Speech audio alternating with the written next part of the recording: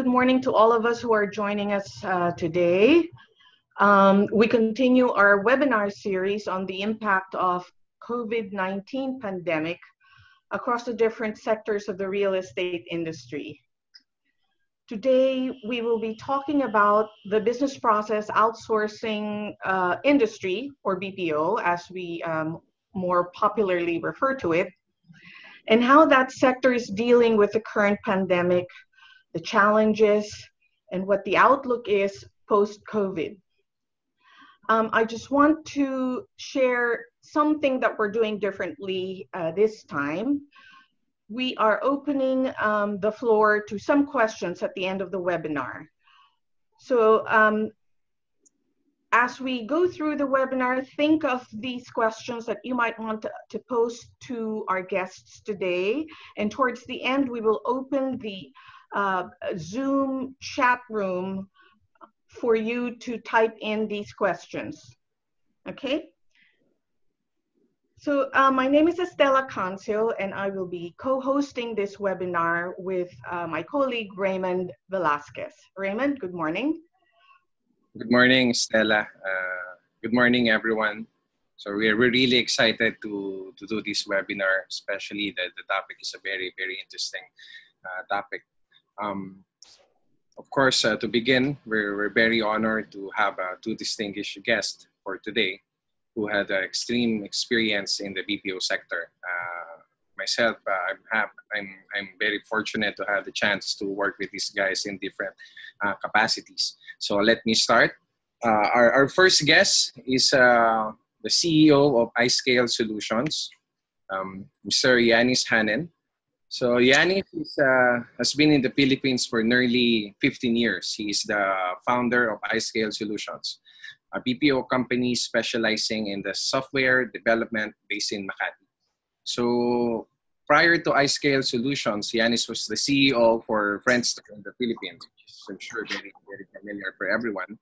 And before leaving in Manila, Iannis worked for a number of Silicon Valley technology companies in the US in various technical and managerial positions. Uh, Iannis also co-founded RightCloud, a public cloud service company that was sold to SoftwareOne in 2019. Welcome, Iannis, and thank you for being with us. Thank you. Good to be here. Hello, everyone. Thank you. And of course, our second our second guest is uh, Mr. Sherwin Que, who is uh, the Vice President and Country Head of Wonders Corporation. Um, Sherwin has close to to 20 years of experience managing Fortune 100 companies, including expatriate uh, assignments in the US, Europe, Asia Pacific, name it, the Caribbean, Latin America. And uh, he brings a wealth of knowledge having managed offshore and onshore operations, holding various leadership and executive roles. Uh, prior to joining Wonders Corporation, uh, Sherwin served as the vice president for and, and global head of for strategic accounts and Asia Pacific um, operations head for Conduent, um, where he was heavily involved in three strategic areas uh, to build, improve, and sustain, which helped the, the growth of the organization. Uh, welcome, Sherwin, and thank you for being with us today. Thank you. Thank you. Good morning, everyone. So as we move forward, um, I don't think it can be denied that the BPOs uh, play a huge role in our country's economy. Uh, next to the OFW remittances, it brings in the largest dollar revenue to the country. Amazing. And about 26 US dollars uh, per year. So, uh, 26 yeah. billion. 26 billion. Um, billion, yes. Correct. Sorry for that. Uh, thank you, Estela. Yeah, and that's right, Raymond.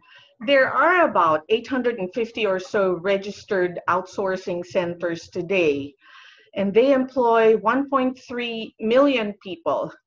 But with the onset of the coronavirus pandemic, most of these companies are forced to review its staffing and day to day operations. So, Iannis, in your view, how has this affected the BPO industry in general? And also for iScale, in terms of operations and client behavior, you know, what changes have you seen? Okay, well, I think on the on uh, not just in iScale but in the BPO as a as a whole, I think the the BPO community in the Philippines was was a bit caught by surprise. I think, despite all the good plans that were put in place, I don't think anybody had initially envisioned a crisis of that size, right? So, so people in the BPO industry tend to usually prepare for weather-related events, like events that will usually last for a short duration, like a few days, like there will be a typhoon or a storm, mm-hmm. but something of that uh, of that impact was not really planned, right? And so, despite having like multiple sites, like we have multiple sites, uh, but all sites are affected, right? And so, what we've seen in the in the BPO industry in general is that it's it's a challenge for BPOs to to keep full capacity, right? To to have all their staff remain operational because they're not able to get into the office and actually perform work, right? And one of the one of the challenges is that um, working from home is not always something that you can do in the BPO industry because of uh, either because of regulation, like clients will not want uh, employees to be working remotely because they have to be physically in, in one place, or because they have to have customer interactions which are not necessarily well done from a home environment, right? There will be noises, or people will not be able to be um, coming on video properly, things like that, right? So, so the BPO industry in general has to adjust, but they were a little bit caught by surprise, right? That's that's my general uh, my general view on what's uh, what's happening, right? Um, I think as far as uh, our customers, uh, customers did not react right away. Right? It took about two weeks for customers to fully appreciate the gravity of the of the crisis. So for the first two weeks, as far as we were concerned, we did not really get too many distress calls from customers. But quickly after that, things started sort of piling up, right? And there were there were sort of different groups of people, different groups of customers, and that really depending on the, the sector or the vertical that they service. So we service customers in the in the travel industry, so those are the, the hardest, right? I mean, I would say pretty much uh, we have pretty much no more work for the travel industry at this moment. Like um, in in the contracts, typically you have this little clause that's called force majeure, right? So it's essentially it doesn't mean that the contract really stops in case of a crisis, but it puts things on hold and you can renegotiate terms and conditions of the contract for the duration of the crisis, right? And I would say most of our customers in those severely impacted sectors have triggered that clause, right? And they, they came to us and they said, well, uh, one important thing is we want to keep our team. We want to keep our team ready to restart whenever we are ready to restart. But for the time being, we need to find ways to weather this storm, right?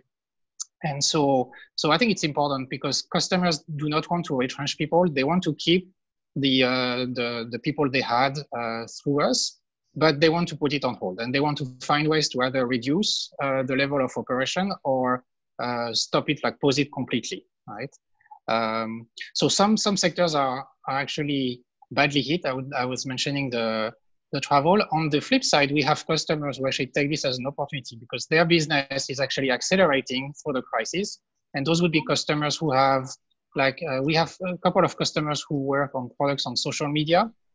And because people are now going uh, to social media for, for purchases, like there, there, are, there are changes in the patterns uh, of the, the consumer habits. So a lot of people, and it's not just in the Philippines, I would say on the, in the developed markets, uh, because sometimes the e-commerce sites are having issues delivering or there, there are alternate ways that start shipping up, right? And so, so customers who work on social media, like advertising on social media is pretty heavy at the moment. And there are a lot of uh, ad hoc uh, selling patterns that are developing. So we have customers who are actually bullish at this moment, but in fairness, mm-hmm. it's very few of them in that position. So the majority are adopting a, a protective sort of posture where they don't want to let go of their team but they want to reduce cost, right? And that's that's what we experience from from our customers as of now. So, Sherwin, how about in your business? How has the pandemic affected the operation side and the client side? Right, right. I mean, similar to what Iannis mentioned, you know, to begin with, it's safe to say that no company has really prepared for something like this. Uh, companies would have had BCPs in relation to natural calamities, maybe social activities, uh, but not a pandemic where both a BPO and a client can actually be affected. And the unfortunate truth is, no one really knows how long this will last. Mm-hmm. Uh, on the operation side, we do look at it in two aspects. Uh, one, you have an aspect where operations would have clients, where the uh, impact of the pandemic is not heavily felt, say in the telco or maybe banking industries. The second aspect relates to operations, like what Iannis mentioned, where there's a significant impact when it comes to volume, your travel, transportation, and to some degree, your retail industries. In the first aspect, where you would have BPO operations that would relatively have the same volume, the challenge, therefore, is more local, meaning there was a lockdown that was established, that was implemented, and then depending on a company's reaction time, there may not be enough people to handle the volume of their calls. So the opportunity of getting as much revenue as you can and taking advantage of that opportunity may not be there for those situations or for those companies that were not able to react quickly right. um, in, in the pandemic.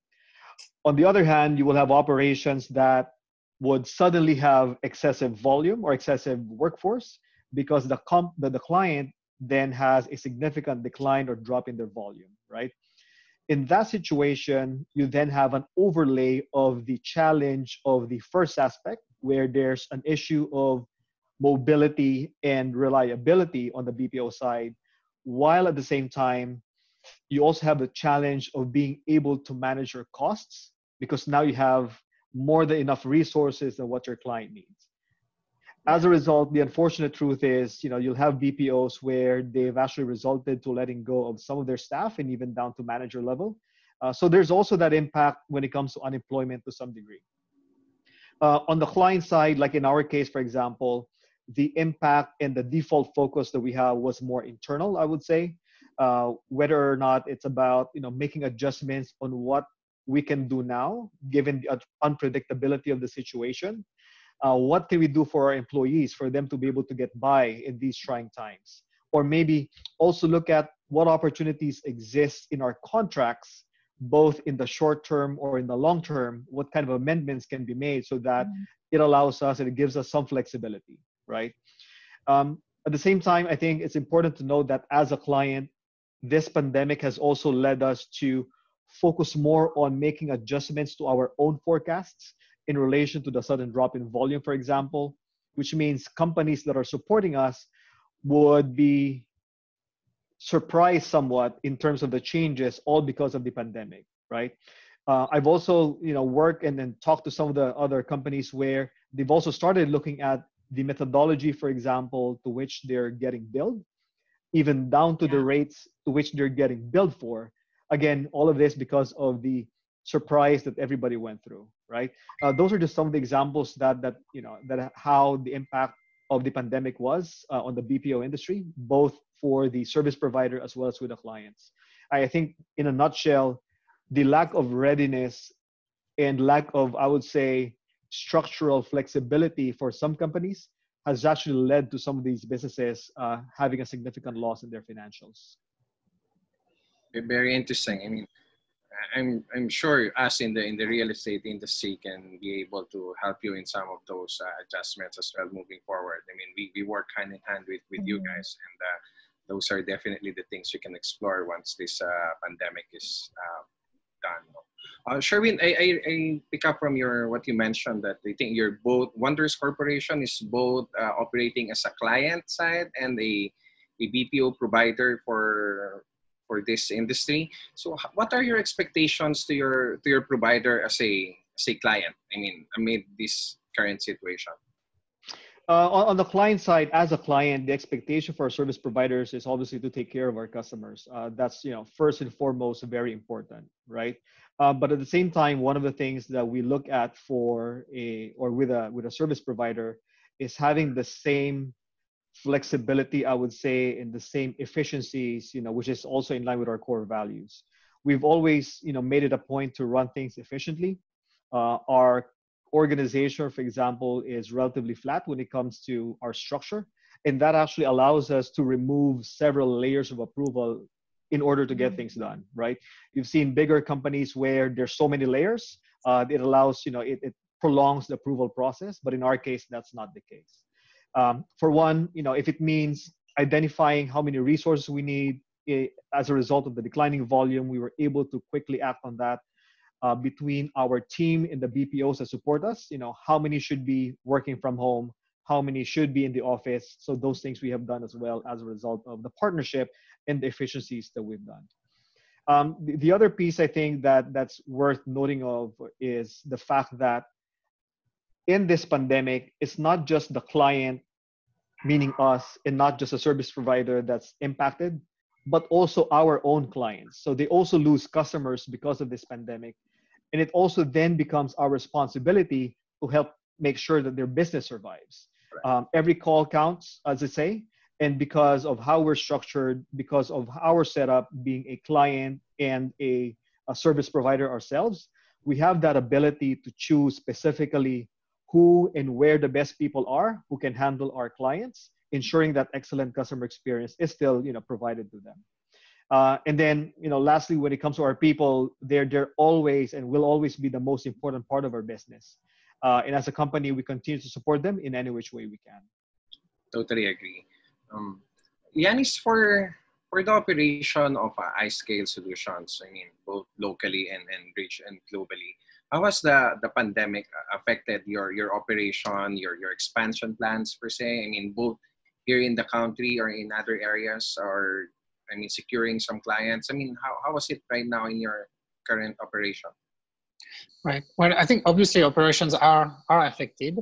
Um, what what's been important is to to maintain the level of service we had prior to the to the crisis and to be to be very transparent with the clients. Right. So what makes this crisis very unique is that I don't think there's I mean there's almost no business that remains unaffected. So it's it's pretty I would say it's not a difficult discussion to have with your customers to say, well, here is our situation.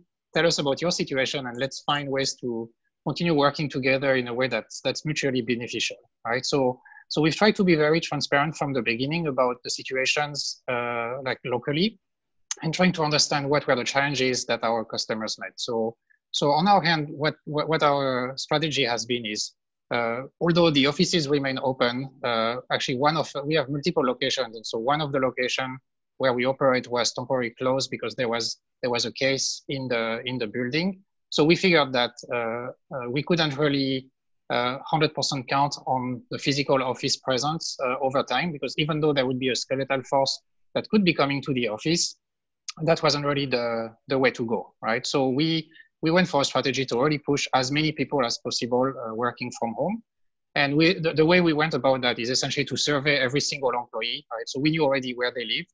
So we had to go a little bit deeper, right? To figure out, okay, did they have a, a suitable space in their, in their house where they could be actually doing productive work, right? Were they sufficiently equipped uh, in terms of internet connectivity and, and so on, right? And so, so we went through this survey and um, I would say we were lucky in the sense we have a majority of software developers, people who work in the uh, in, in the software arena, and so they were pretty decently equipped all in all. So there were a few gaps here and there, but we were able to address those and uh, find uh, the missing supply. So typically like internet connection devices, we were able to do that pretty early, right? That was, I would say, our luck because the challenge we have today, right, as we continue through this crisis, is really finding equipment, right? Because our our suppliers are no longer delivering, right? And so as we need additional equipment to sustain the operation or as equipment breaks down and you're starting to run on your spare equipment, it gets pretty difficult to procure uh, and deliver equipment at this point, right? And so, and I was mentioning about alternate ways uh, through social media and other means. And so that's sort of where we are looking at at the moment, right? To procure equipment. There are a lot of uh, businesses that start operating in a different model where they continue selling, but they don't sell through the normal channels anymore, right? And so, so that, that is an operational challenge. And that's something where we're trying to be prepared as best as we can. But since we don't know how long the crisis is going to last, uh, we don't know if that's the right, the right solution at the moment. But clearly for us, the challenge is finding supplies, right? Because computers break, people will have issues at home and maintaining working equipment and working conditions remotely is, is a challenge again, I think that's that's the you know even if like like what Sherwin mentioned earlier, I mean, even if a, BCP was in place before, but not at this capacity where it was affected, not just locally yeah. but globally. Yeah, yeah. We're having conversation with uh, some of our friends also in the industry, and that's the same thing. We're, they're having the same trouble that that you know you guys are experiencing, and at the same time looking at some some opportunities as well. I mean, uh, again, we go back to adversity producing opportunities for us. So that's, that's one thing that we definitely look forward.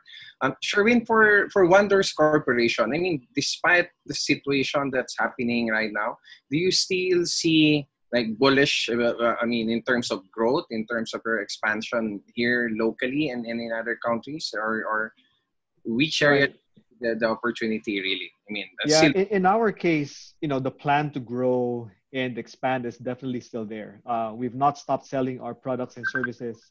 Uh, however, we do know that the there will be a slow economic recovery across the globe, right? Uh, and so we're adjusting our timelines based on that. Coincidentally, you know, even prior to the pandemic, we've carefully thought of our expansion plans. And just to share with you what we have in mind is our expansion is not limited to just one facility or one city we've always looked at not going beyond 500 folks in one location, which therefore creates flexibility for us in terms of resource availability across the Philippines, for example, or the skills that are required across you know different products and services that we do, which I think will play a big role as we all go through you know in identifying this new normal, right? We also have the benefit of having our own developers and engineers that helps fine tune our infrastructure to ensure that we reduce, if not eliminate, the fat in our systems, therefore allowing a more efficient and effective work from home setup. So plans are still in place where we're very fortunate to have that. It's just a matter of making some adjustments in terms of the timelines when we think you know we can expand to that you know to the number that we're aiming for. Yeah, interesting yeah. If I may add on on expansion, like one, one aspect I found interesting to us is really the the hiring. So to be to be honest, I was I was very skeptical about hiring in these conditions, right? I thought candidates would not. Uh, I mean, I, I was thinking essentially we would be able to to reach out to candidates and do video interviews, but I was mm-hmm. not really convinced that candidates would be committing for a new role uh, with us entirely remotely, right? And and surprisingly, I was I was proven a little bit wrong on that.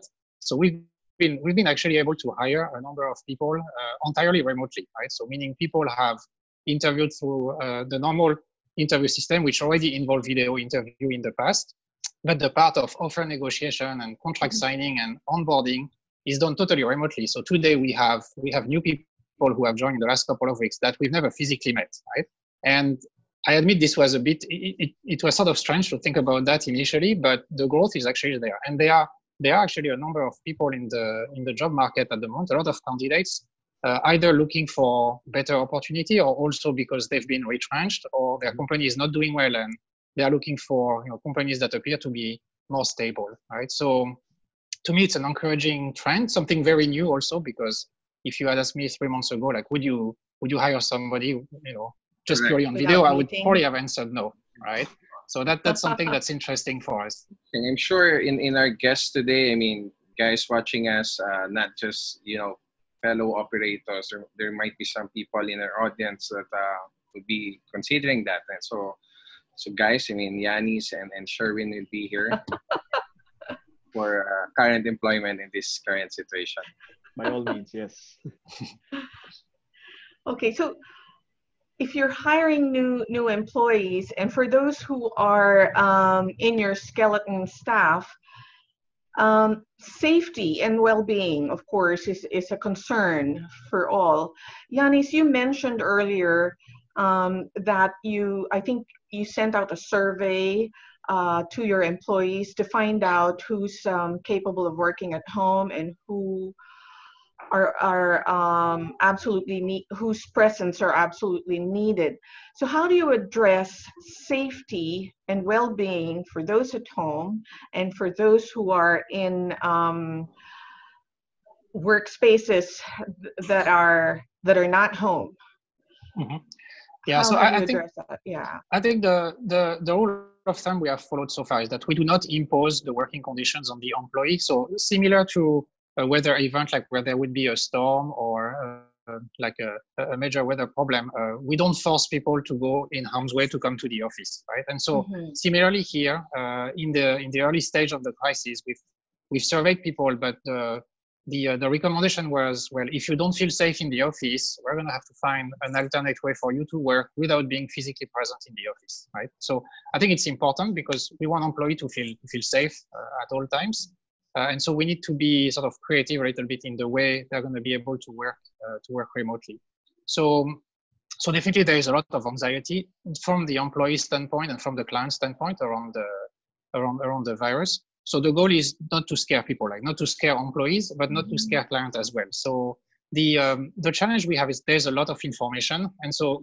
customers are constantly asking like, what is the situation in the Philippines? But not being here also, they don't they don't necessarily understand very well how the normal situation in Philippines happens to be, right? So so we try to remain like factual and not exaggerate the situation. Or when we don't know, I think it's fair to say we don't know, or we refer them to more uh, informed sources. So because in this time, I think a lot of people have a lot of different opinions or a lot of views, but that's not necessarily what the reality looks like, right? And so customers are trying to also figure out what's really happening on the ground. So one important message for them is to ensure them that their employees are safe and that we are finding ways to to to keep them uh, to keep them productive, right? Um, but in terms of concrete measures, so for people who stayed in the office, we obviously try to follow the, the social distancing. So having a lot of spare space made it easy, right? So we sort of scattered people who were who were working. But this wasn't at the beginning. Like as of now, we we pretty much don't have anyone left in the in the different locations, and we only do occasional face-to-face meetings when there is really hard paperwork to be done, right? Because sadly, some of our partners, like the, for example, we work a lot with with banks, right? Uh, and so banks are still very much paper and signature, but over time we've been able to to replace uh, hard copy with uh, either so not really digital documentation, but using uh, courier systems to just circulate the papers and have the mm-hmm. signatories sign the relevant documents, right? So initially it sounds like it's not possible, but over time, uh, day after day, when you really focus on the problem, you find you find solutions, and physical presence is pretty much longer required. Yeah has it been the same, Sherwin, at um, Wonders? Do you do you still have people coming into a physical physical workplace? It's a combination of of both, given the structure that we have, right? In, where we have our own captive operations, where some are working from home, some are in the office with social distancing, like what Iannis mentioned, while at the same time we are well supported by our BPO partners as they run the operations on their side of the fence, right? I think that we're, we're very fortunate, you know, being able to have that setup. And the relationship that we have, you know, also is tied to looking after the safety and welfare of our employees on both ends. Uh, which again, going back to what I was sharing in terms of our organization, having a leaner and, and flat organization has actually given us a lot of benefits.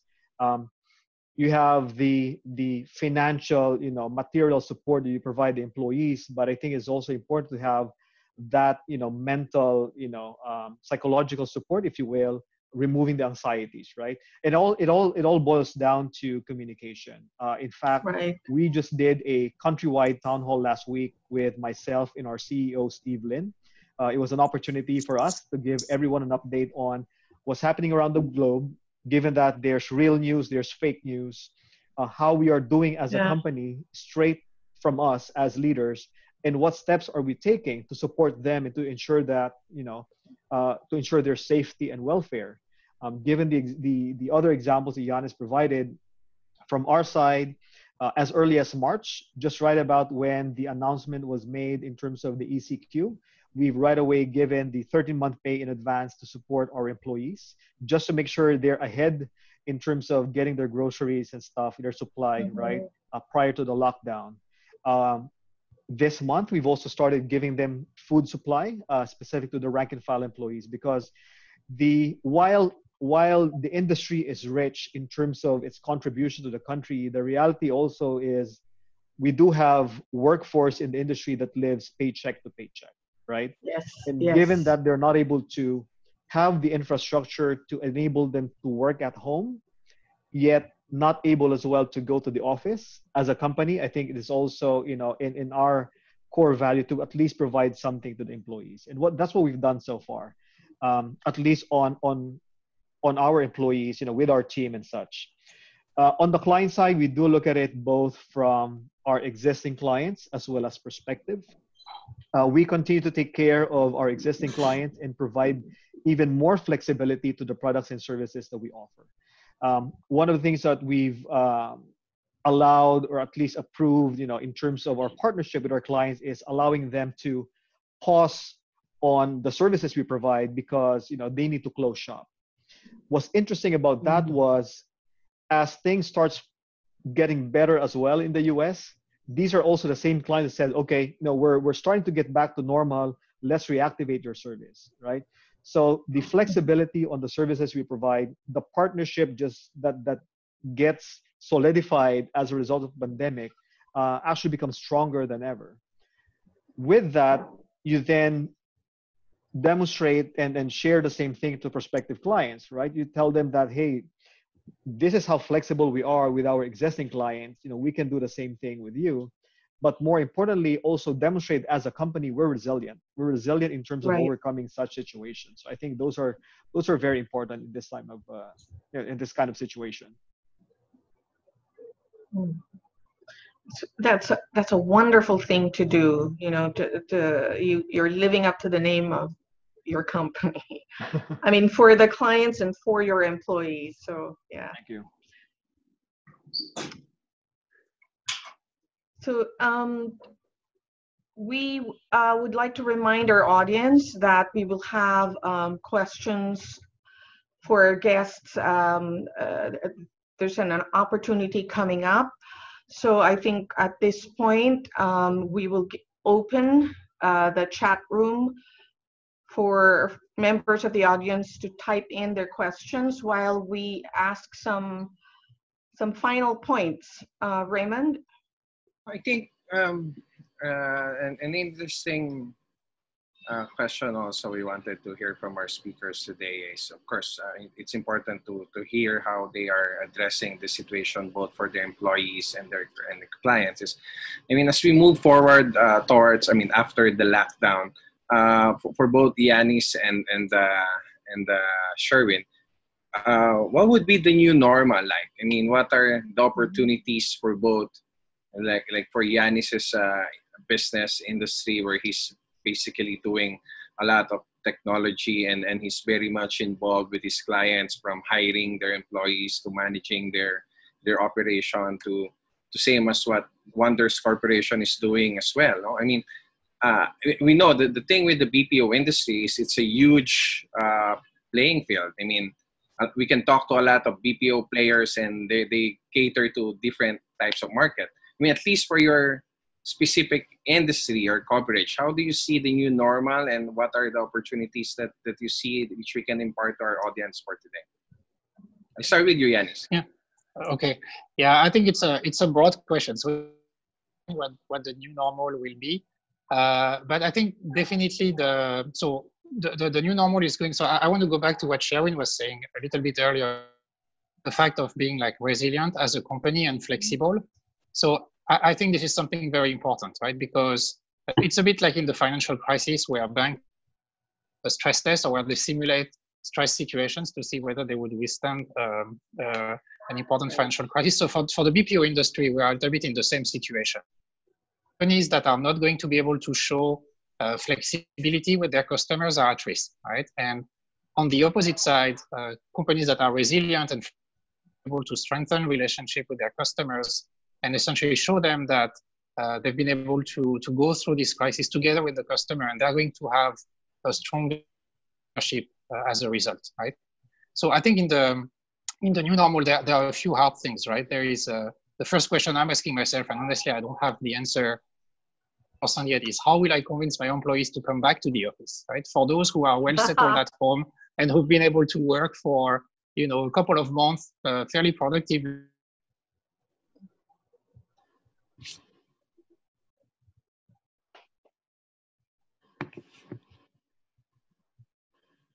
Did we lose Iannis? Either they, they, uh, they have uh, they have uh, difficulty staying home much longer and they'll be really happy to get back to the office. But some others may actually enjoy the setup at home and may not want to be back to the office. So I think the new normal is going to definitely be a mix of that, right? Uh, there's going to be more flexibility between companies and their employees, but also between companies and their customers. Right? I think that's that's one um, that, that's like there, there's going to be a strong shift in level of expectation or habits of employees or customers with regard to to the level of service. Right? Um, I think there's going to be, in my view, I mean that's that's the way we look going to slow down our, I would say, brick and mortar investment, like office space, uh, travel, uh, things that usually, I mean, we, we realize big budget for our, for our operation. And now that travel is reduced, we see this budget that could be reallocated to better collaboration tools or uh, better tools in general remotely, right? And I think that's another that's another shift. I, I don't expect the travel industry to really recover very quickly, or I don't expect people to start flying around what they were doing what they were doing before. So those things are going to be to be slowing down, and I think companies are going to be more frugal on those areas and are going to trade it for better remote setup, better tools, better uh, uh, business continuity programs as well. If if they felt that their their BCP was not uh, was not strong. Um, and I think particularly for BPO, there's probably going to be also a bit more competition with freelancers because obviously freelancers are a small scale, small scale operations, right? But there are a lot of people freelancing at home, and it's going to be interesting to see how those those different segments of the industry uh, who are going to be to be working together because now. Um, you know, a, a, lot of people will be at home like freelancers are, so it's going to be interesting to see how those two um, uh, behave. We'll, we'll have to observe that as well. Uh, as far as we are concerned, I'm, I'm, I'm, I'm, expecting that we are going to be, we're not going to be expanding much as far as office. Uh, and I expect uh, a significant portion of our employees to probably remain at home or come to the office only once in a while after this, at mm-hmm. least for medium term. Um, and so we'll probably be making uh, office space adjustments to, to not really assign one desk per employee, but really have uh, the opportunity to come to the office whenever they want, but to make it a lot more flexible. That, that's how I see that. Thank you, Iannis. How about uh, from your end, Sherwin?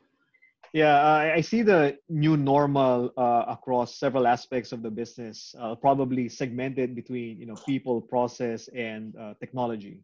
Um, the the workforce or the work from home piece of the people aspect, right? where companies will certainly start identifying roles and positions that can operate in a work from home setup. That's one. But on the flip side, you'll then have employees as well, you know, who will start thinking of investing on their own internet bandwidth, their own computer equipment to enable them for a work from home setting. Uh, that's one. Uh, the next one, as it relates to people, will be about the roles and responsibilities. This will certainly be redefined. Um, as roles and responsibilities are currently defined based on performance expectations, where you have your metrics, targets that you need to achieve.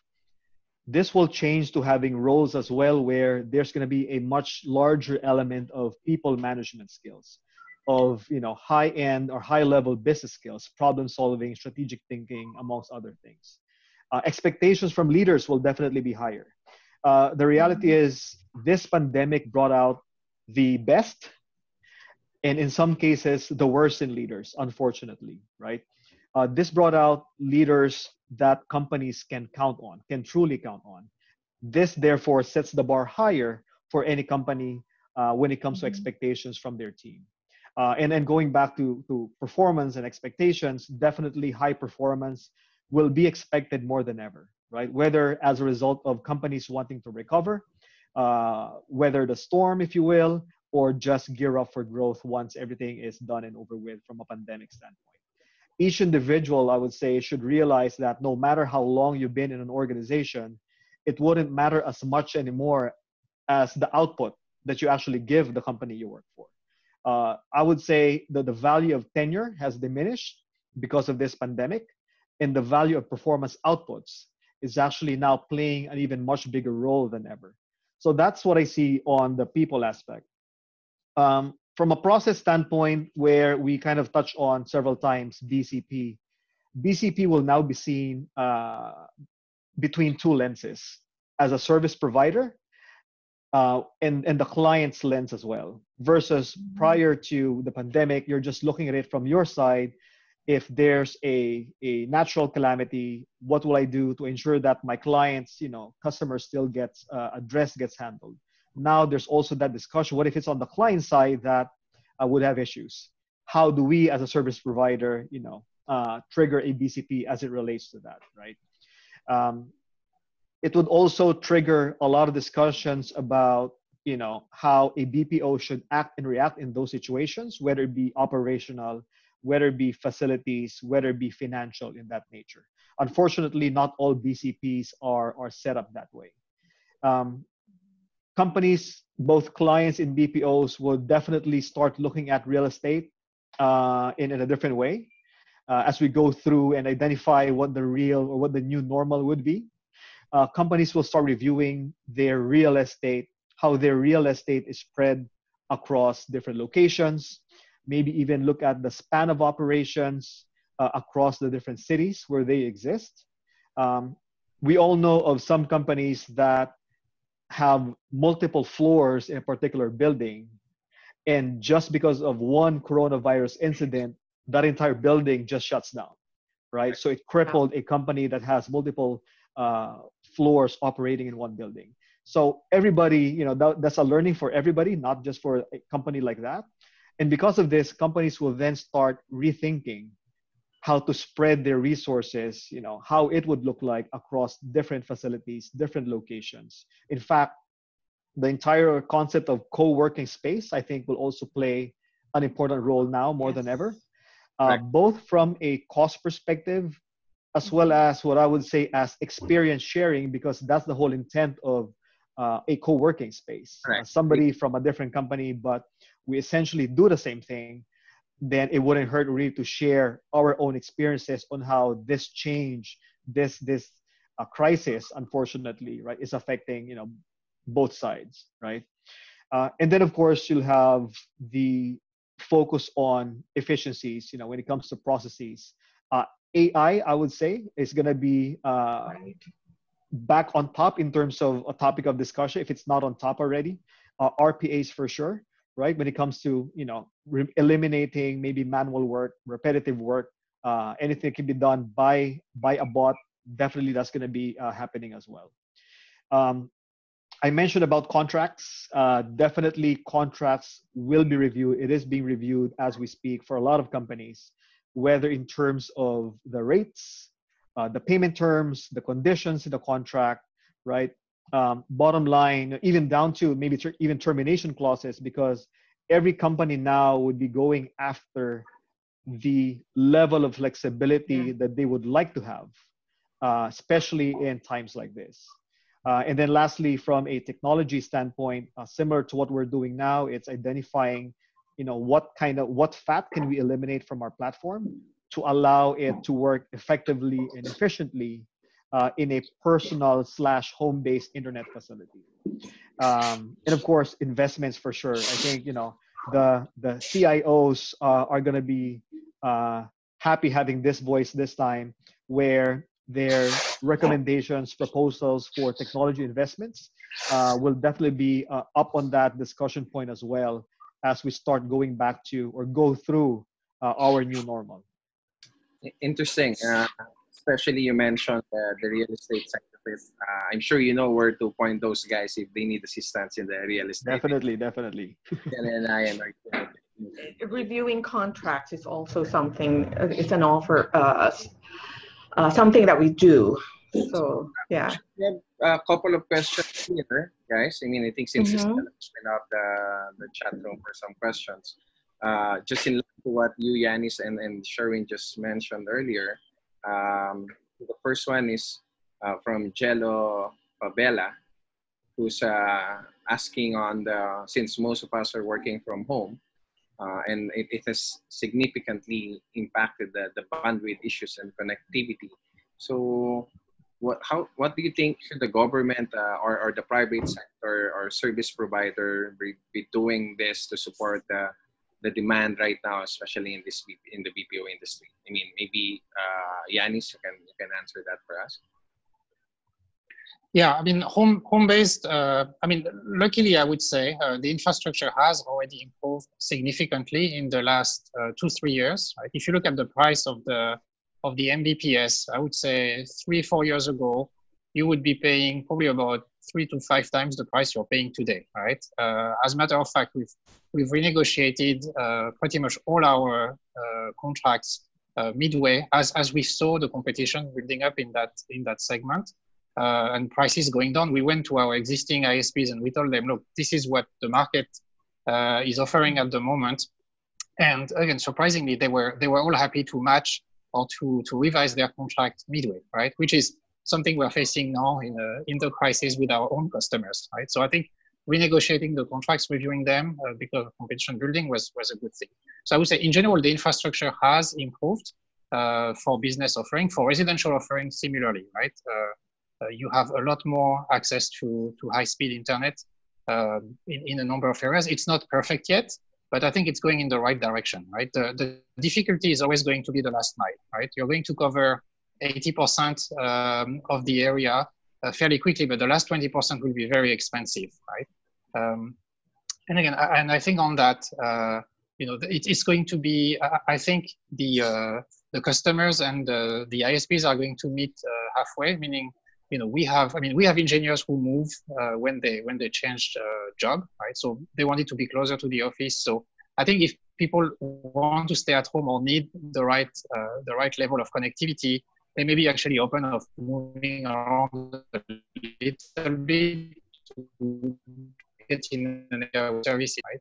Uh, i don't think uh, uh, you, can, you can expect working from home with, with bad connectivity. So if people really want to do it it, it, will be it will be a good effort, right? Propagating uh, high-speed fiber in, in different areas, but I think people, while that happens, people will probably also be a bit flexible and move to, to better areas. Mm-hmm. And, and then I think you know, in addition to that as well, um, and and all of us in the industry are very familiar with uh, IBPAP, right? I think more than ever, IBPAP will have a much louder voice this time uh, because mm-hmm. of just how important technology will play a much bigger role you know once the pandemic is over um, whether it be in a work from home setting whether it be in just ensuring that there's very very close to 100% uptime right that will play a big role so it's really ibpap having a much louder voice this time with the government compared to previous months, previous years, where there's a bit of, of uh, not really resistance, maybe lack of knowledge, lack of awareness on what the industry does for the country. Uh, there's definitely going to be more recognition towards that, which obviously translates to what Iannis was mentioning uh, much better connectivity, maybe 80% at par to a Singapore, if not a Hong Kong, right? But wow. definitely, you know, uh, to that degree. That I'm looking forward to personally. that would yeah. be good. Yeah. Yeah I, I, think it will take time. Like obviously we can't expect this to happen overnight although we've seen i mean we, we've seen pretty significant acceleration of the the service level uh, in the last two three years but it will still take a few more years to really to go in, in, in many places. So i think in between yeah the, we'll have to find short-term solutions before the long-term solutions are in place Correct. Um, last last week we had that discussion uh, on the co-working, as as uh, Sherwin mentioned also earlier, where we see how that that industry can help. I mean, the flexible workspaces, not just the work co-working in particular. I mean, the, having a flexible workspace scenario mm-hmm. uh, can help us rebound in this current situation little by little as we you know move forward on a bigger um, you know solution and a new normal. So there, there's another question from Mr. Uh, Erwin Gabino. What mm-hmm. innovations do you foresee being needed by the industry to adapt to the new norm uh, post ECQ? Is there a unique opportunity? I think you mentioned it earlier, uh, uh, Sherwin, also. Yeah, there, there's a couple. I think you know both Iannis and I were mentioning a couple of things. One from a technology standpoint, of course, you know, mm-hmm. um, allowing more people to one trim the fat, trim the fat in terms of the platforms that they currently use in their companies. Uh, the second one, the Estela, in terms of uh, artificial intel- intelligence, uh, process automation, RPAs, you know, bots essentially, that would all come into play. Uh, there's going to be for sure a much more or a much aggressive push on virtual hiring. Um, I think that innovation will definitely be coming. It has already yes. come. Uh, in fact, maybe I'd say a year or two uh, two years ago, but the acceptance of it will actually going to be much greater this time around. Um, that's one of the innovations, right? Amongst other things, for sure. Yeah, to, to, to expand on this virtual hiring, so I was mentioning earlier that I was myself surprised at the fact that people would take offers without meeting us. Um, internally, we've actually really uh, looked hard into our hiring uh, approach uh, in the last in the last few weeks. So when we screen uh, technical people or the, the tools we use to to vet their technical skills and to make sure that we are hiring the, the right person, right? So I think there's a there's a strong opportunity there in that area too, because uh, companies are going to be more and more hiring people remotely, and you need to have uh, a consistent set of tools or a consistent process. Uh, and over time, you can you should have confidence that you're hiring the right people. So, so we, we found a lot of gaps in our process, uh, and it was difficult initially to do it fully remotely. And now slowly we are actually reaching reaching that level. So I think from a platform standpoint, there are definitely probably tools um, and interview techniques that need to be developed and nurtured for for virtual hiring. Actually, as we move forward in this webinar series, I think uh, the next part of this BPO outlook is we're going to have uh, guest speakers also from from the from that area. From the HR. HR component. Part, yeah. Yeah, a huge role, especially in this current situation, um, hiring these employees, these BPO personnel, even the executives, how it has affected them, uh, and then the other support uh, system in the BPO industry. I mean, it's very interesting. I mean, very uh, thankful hearing from you guys how how the situation is uh, affecting your your current uh, operation, and then you see the opportunities. And as we move forward, we we have uh, other guests that I think can share uh, their expertise as well. And us also in the in the support group of this industry, providing the real estate component of it I mean, definitely, I mean, we'd be happy to share our, our expertise and, and knowledge how we can all work together in this current situation. I think we have one one last question. We have time for one more question. This one is from Jello Fabelia also. So do we foresee PEZA in reviewing its existing relationships with BPO companies in terms of being more flexible in moving assets between office locations? So, uh, how do we take that question? Yeah, this one is this one is interesting, right? Uh, yeah. So it's actually for for all of us, us us four. Right. um, there, there's definitely, at least from my side, there will definitely be a realization that hey, maybe what the change we wanted to make a year or so ago may not be applicable this time around. Um, is it, it then becomes a next question of what we currently have in terms of PEZA and its benefits. Do we then mm-hmm. continue that on, or do we need to make it more appealing this time? Because you have all of those in mind, and along with that, you have your build, build, build. So you have PEZA somewhat stuck in the middle between developers, between the government and the developers, and companies who are now thinking, hey, work from home is actually working. I can invest on technology. Right. Then maybe I don't need to be PEZA registered, as an example, right? Just to put it out there, right? So this one is tricky. I, I don't know if you guys can chime in as well, but you know, this is a sort of a like a chess game like depending on who moves first i think the other the other side will will then react depending on what the move is. Um, i'll chime in. I just have a, a short thing um, to add there actually. I, i'm hoping that the process for getting um, PEZA reviews moves on uh, more smoothly. I think of late there has been some uh, delays in in getting approval. So um, and it has uh, hindered the uh, the start of one construction, two moving in of new um, BPOs, um, and and in general, operations have slowed down because expansion spaces are not available. With, you know, PEZA registered expansion spaces are not available. So, so um, I'm I'm grateful this question has come up, and I I'm hoping um, someone from the agency is listening and the agency above that agency is listening too so uh, so that we can get the process reviewed and moving smoothly so raymond you were from my end to, to answer yeah. Jello, no. I mean i'm expecting there will be you know changes also and and uh, flexibility in how they do things from before to this covid and as we move forward. And what i can assure you i know someone from PEZA and make sure your question will uh, reach his office.